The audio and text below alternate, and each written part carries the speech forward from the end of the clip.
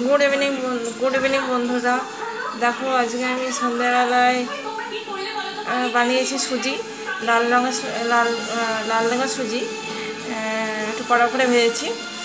আর সন্ধ্যাবেলা জলখাবারের দিন এটা তো খুবই ভালো।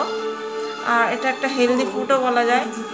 সুজি সবার বাড়িতে তো কম বেশি থাকেই।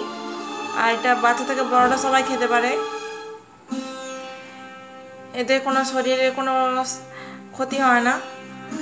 আর এটা খুব পেট ভার করে মানে এটা যেহেতু ভারী একটা খাবার, তাই শরীরে কোনো ক্ষতি করে না। আর এটা আমি সিম্পলভাবে বানিয়েছি।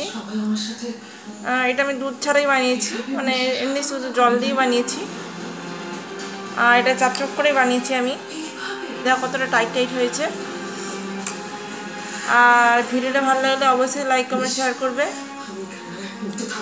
আর সুজিটা তোমাদের কেমন লাগল? তোমার কমেন্টের মাধ্যমে অবশ্যই জানাবে। আর ভিডিওটা ভালো লাগলে লাইক কমেন্ট শেয়ার অবশ্যই করে দেবে। আর চ্যানেলটাকে আমার সাবস্ক্রাইব করতে একদমই ভুলবে না। পরে ভিডিও দেখার জন্য অপেক্ষা করো।